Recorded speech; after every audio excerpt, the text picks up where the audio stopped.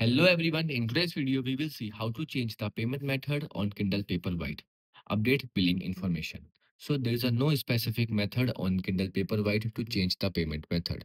To change the payment method, you can use your mobile device too and open the Amazon application. So you can open your mobile device. Then after, make sure that the you are using the same account that you are used logged in in your Kindle on your mobile device. After that, you can go to the settings. Wait. Now on the application, tap on the human icon. Then here you can scroll down and then select payment. So where is payment method? Then here you will see manage payment options because also there is a no other payment option available. Tap on it. Now here you will see your address. After that, your wallet account number. And now here you can simple tap on edit button. And then after here you can simple enter the name.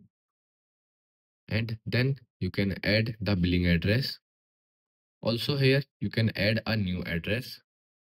Also here you can firstly remove the payment method to confirm if it's not addable and now here you can simple go back again open it also, if you don't found here any option to add a new payment method, then don't worry. You can here, you can select any product.